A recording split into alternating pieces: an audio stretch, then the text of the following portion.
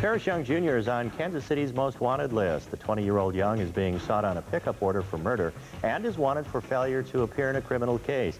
He's known on the street as PY and should be considered armed and dangerous. Call the TIPS hotline if you can help locate Paris Young Jr. Help us catch Kansas City criminals.